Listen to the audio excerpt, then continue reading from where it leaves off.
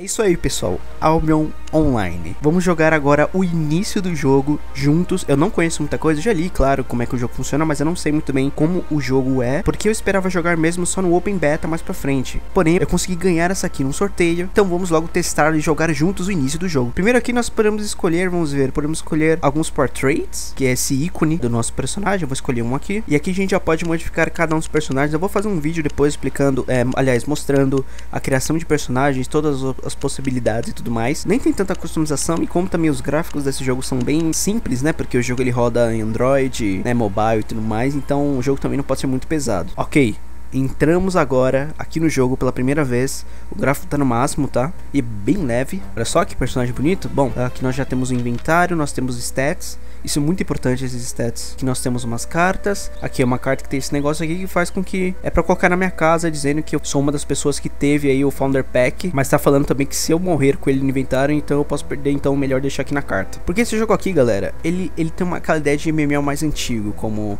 RuneScape, Tibia... O uh, que mais? Antigo. Último online. Então, basicamente, se você morre, você perde tudo. É simples assim, é claro que existem algumas regras, alguns locais específicos. O jogo também já tem sua versão em português, mas eu tô jogando em inglês, depois eu mudo qualquer coisa. Outra coisa também é que é possível comprar gold nesse jogo. Você compra tanto com dinheiro real, ou também com, você compra e vende de outros jogadores. Por quê? Porque nesse jogo você tem um sistema de premium account, ou seja, você tem, por exemplo, um mês ou um ano de premium, e enquanto você usa uh, essa premium, você tem alguns bônus dentro do jogo, porque o jogo é gratuito. Então isso serve basicamente como uma mensalidade para tirar alguns bônus, mas você pode comprar com dinheiro do jogo.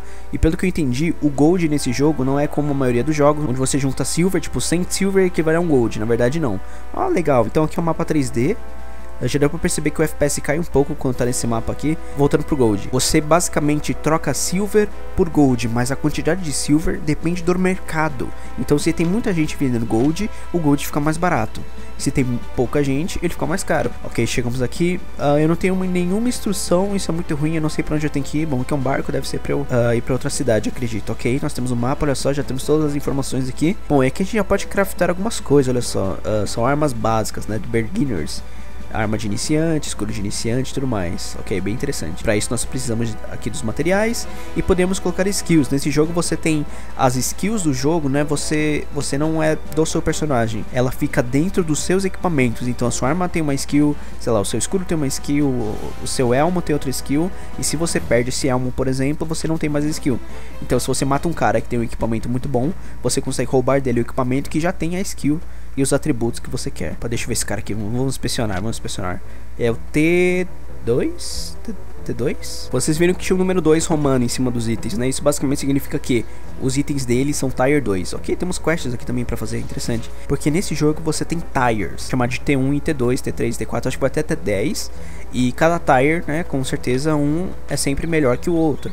Então você crafta no início um Tire 1, depois Tire 2, depois Tire 3 e por aí vai. Bom, e agora, o que eu tenho que fazer? Não tem nenhuma instrução, gente. Bom, eu vou coletar material aqui pra fazer os equipamentos ali de beginner do beginner guide. Eu preciso de madeira e pedra, basicamente, então eu consigo coletar aqui tranquilamente. Uma coisa, um sistema muito interessante que tem nesse jogo é que o seu personagem ele pode levar uma determinada quantidade de peso. Então, se você tiver muito pesado com muitos itens, isso significa que o seu personagem vai andar mais devagar. Vamos lá ver se eu já posso craftar aqui alguns itens. Já posso craftar, legal. Primeira skill, causa 95 de dano físico, ok. Vamos lá, craftar. Ok, craftei, já tá lá que bonito. Bom, o escudo aparentemente ele não tem skill, pelo menos esse escudo inicial, né? Resource Return. Esse Resource Return é um valor que você vai acumulando e você pode usar esse valor na hora de fazer crafting. Isso basicamente faz com que você consiga retornar ali, por exemplo, 10% do material utilizado de volta para sua backpack. Então, sei lá, você usou 100 pedras para craftar alguma coisa, você ganha 10 pedras de volta. Basicamente isso, em teoria. Também tem as taxas ali, a FI que é uma taxa para você ter, craftar um item, mas aparentemente no início isso não tem nenhum tipo de taxa para craftar nada. E eu preciso dessa pele aí de coelho para poder fazer aí os equipamentos, então eu preciso de um, uma ferramenta que tira. Opa, já pode fazer. Legal.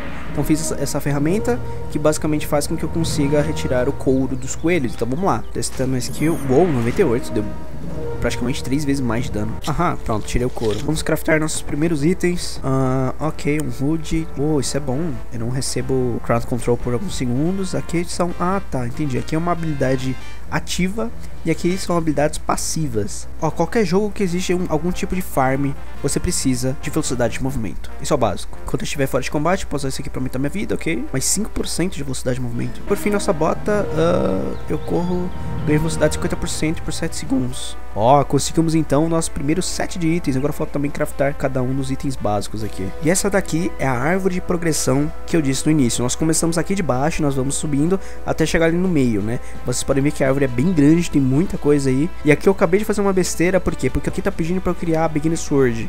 E eu já fiz ela antes, né? Eu já craftei ela. Então eu vou ter que craftar outra pra, pra progredir aí nessa linha. Então vamos lá, vamos criar outra agora. O jogo deveria reconhecer isso automaticamente, hein? Então, ó, vocês viram ali que isso que tá aparecendo na tela é basicamente a progressão daquela árvore. E a próxima coisa aqui, um, picareta, pickaxe. Ok, então vamos craftar mais uma. Finalmente chegamos então no centro e agora sim nós podemos progredir para todos os lados, dependendo do que a gente quer fazer. Isso é bem interessante porque você tem um cara que vai fazer poções, você tem um cara que vai fazer machados, o cara que vai fazer espadas, o cara que vai fazer arcos, o cara que vai fazer equipamentos, enfim. É claro que você pode se especializar em mais de uma coisa ao mesmo tempo. Se você quiser, é, sei lá, craftar arco e flecha, você precisa craftar arcos para progredir nessa linha de arco e flecha. Se você craftar espada, é só espada, basicamente isso. É um grind massivo, mas é um grind meio inteligente.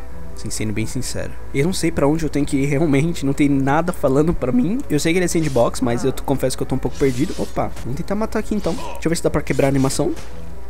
Ops, eu errei, na verdade, peraí. Ah, mais ou menos, pode ser por causa do ping ali de 160. Como quebra a animação em qualquer jogo? Você dá um ataque básico e depois você usa a skill. Então ele basicamente quebra a animação do, do ataque básico pra utilizar a skill. Basicamente isso. Eu vou até pegar esse Fox Hide aqui, porque eu tenho certeza que ele vai ser útil para craftar alguma coisa depois. Agora sim, temos Quest, que são os NPCs, e ali as casinhas são crafting.